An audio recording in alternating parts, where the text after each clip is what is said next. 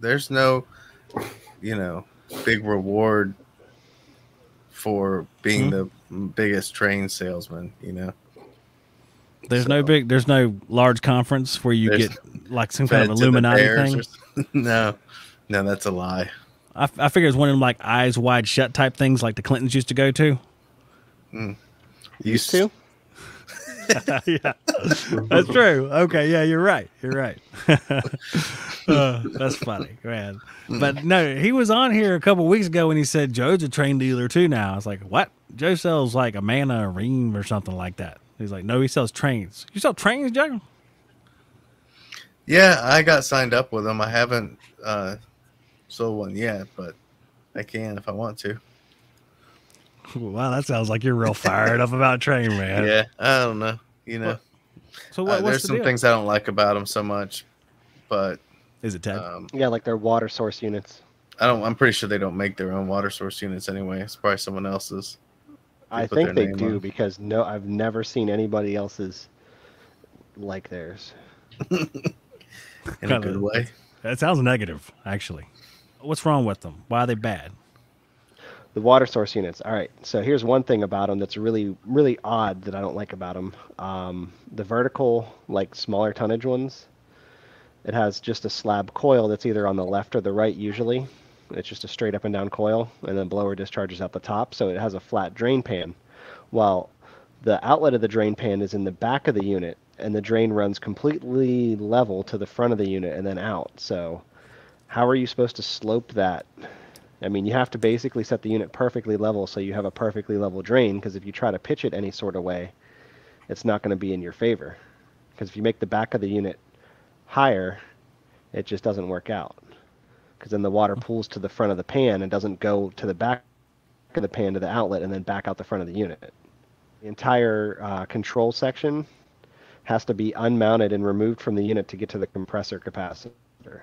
Seems to me like everything I've seen about like water source systems or geothermal systems is they're set up to make service a nightmare. I mean, maybe, but Trane even more so. Trane's the worst of the group. Well, Joe, why is it that uh, you seem kind of half-hearted with selling Trane? What, what's the problem? Why don't you jump on board so you can be like the other guys who run the world or whatever? You know, Ted. Basically, what drove me to do it was that Rheem is going all two-stage uh, for this. I guess in heat pumps anyway, which is primarily what I do. So their two-stage units now are like you know, about twice as much as I can get like a 14 SEER unit for. So I'm just kind of waiting this. They still haven't released the pricing on that, but then Ted and and me were arguing one night, and then Ted was saying that their 14 SEER units already meet the standards, and I called him a liar because how can you just have one unit one day that's 14 SEER and then tomorrow it magically meets the other one. But so, in an effort to prove him wrong, I looked it up, and sure enough, there are a lot of their 14 SEER units already are in the database with the new ratings. Then I guess um, through the whole uh, supply chain crisis and everything, the some Trane dealers have not been able to get equipment as much, so they're actually trying to sign people up and not making them uh, sign any, you know, contracts or guarantee that you'll sell fifty thousand dollars worth of equipment or whatever. Mm-hmm. So they just signed me up. So you know, I started looking at them. I'm not like super crazy about the air handler sizes, as much as that's one really nice thing I've come to love about selling Rheem is pretty compact air handlers and the Trane. It's from what I've kind of been looking at it, they're pretty giant air handlers. So, talking about them plastic lunchbox ones. Not even that. The I do like that air handler. I've come to like it more, simply because here in Florida, um, after dealing with like a lot of water management issues, I just would lo- wouldn't mind the fact that the unit is the drain pan. So I don't hate that air handler. They are really expensive uh, and the metal ones, it seems like they only come in two sizes.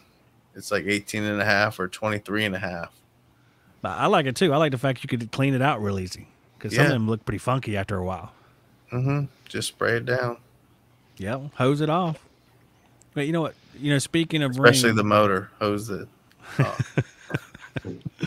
yeah, there's little holes you could spray inside of it. You know, that, that's, that's Yeah. pretty good. That's what those are for. Uh, constant duty, constant flow. You know. I was gonna say, take notes, people in the chat. Yeah, take note. There's a lot of knowledge flowing out here today. Uh, Dallas, do you still do uh, Rheem stuff? Because I know you switched companies. So you, are you doing Rheem still, or is it something else? Yeah, they do. They do a Rheem, Goodman, and and uh, Bosch. Oh, interesting. Oh, so God. Yeah, yeah, Oh, this is I- better than I thought it was going to be. yeah. Oh my god, So, yeah, I'm, I'm, a, Dallas. Oh, I'm, no. I'm a Bosch lover now. I'm a Bosch lover. Are you What? are you legit a Bosch lover? Do you like them? Uh, well, actually, um, the guys install them. So Be I've careful. Never, um, yeah, I've never uh, worked on one yet. I've never worked on one yet. So I've just been to jobs where they are running and the customers haven't complained or anything like that. Well, to you know, s- to clear this up, Dallas, this climate, they actually want humidity. Yeah, yeah, because where I live, even see. right now, uh, towards fall, the the it's gonna be warm out, but the humidity can go down single digits. It, can- it can get as low as like four percent. So And, we're not. and didn't you not say gonna- you purposely run the fan on to drive the humidity up more? Yes. Oh yeah. Yeah. Exactly. Yeah. So Bosch is perfect. yeah. Yeah. So the um, Mhm. but the customers we put them in for, they like them because they're nice and quiet. They love them because they're quiet. It, um, and They are. knock on wood, I haven't been on a service call where they said it wasn't working, you know, type thing. Uh, you know, because how they ramp down. So, uh, and it seems like they're built. They're built good. They're they're, they're solid, solidly built. They're quiet, so customers don't complain right now. So, uh, and they're, the fan coils are pretty well built too. So, I'm a, Yeah. officially a, a Bosch lover. I would say. Oh my gosh, Dallas, we are not friends anymore. Well, hold on. I mean, he's, he's right. You know, if you're going to put a Bosch in the desert, it's perfect. Yeah, yeah, I mean, yeah, exactly. That's where a Bosch yeah. belongs. Is Yeah. the desert.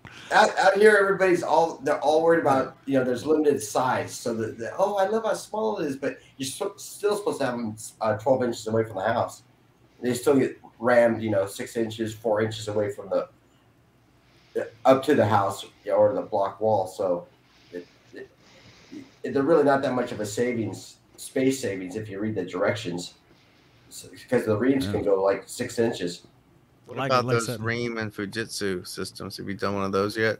Oh, yeah. No, uh, our company has, but I haven't been to one yet. I just saw pictures of one. Turned out really nice. So I, I haven't been to one of those either.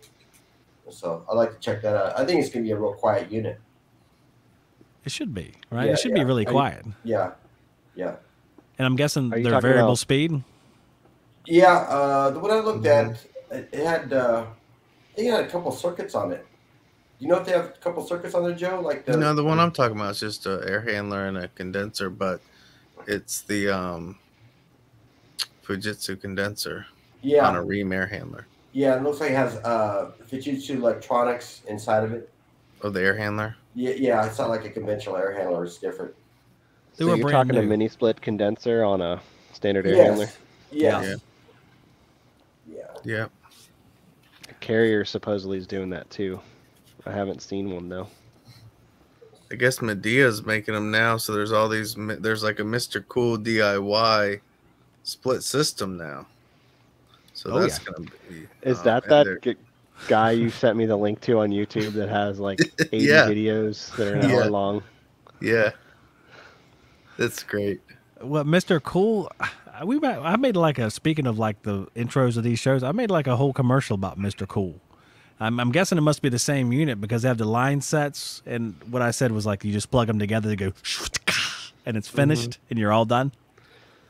Are they the pre-charged line sets? That's Mhm. what I thought. Just like the old Pre-charged. days. Yeah, like we those went. Liebert Liebert units. Um, We're residential. Uh, yeah, like those Lieber. Yeah, yeah, Well, yeah. I see 'em on- 407C. I've seen them on um, different residential units too. I think I've seen them on. Did Trane do that for a while? Who who did Yeah, that? I've and, se- like, I've seen well, those that- line sets. Yeah, that was popular back in the day. And I've seen them on refrigeration units too, like even newer ones where it's that weird fitting that like cuts the other fitting when you put it together. hmm It pierces through the little. Yeah, I think trailers used to do that too Mm-hmm. back in Yeah. the day. Because you'd see them, you go up on them, and they don't have service valves or anything. They just have the line sets right to the unit. Yeah. Yes. It's weird. It's weird stuff. Yeah, it's like uh, technology just goes around in big circles. yeah, that's innovative. You know, if someone showed me now, it's like, wow, that's cool. Yeah. Yeah. So now you can just install your own, and it'll be perfect. If you want to watch more videos just like this one, click on this playlist right here. If you want to see our brand new video, click right here. If you want to find out more about the great sponsors that make this show happen, click up here. And to join our email list where I notify you when we're going live, click right here.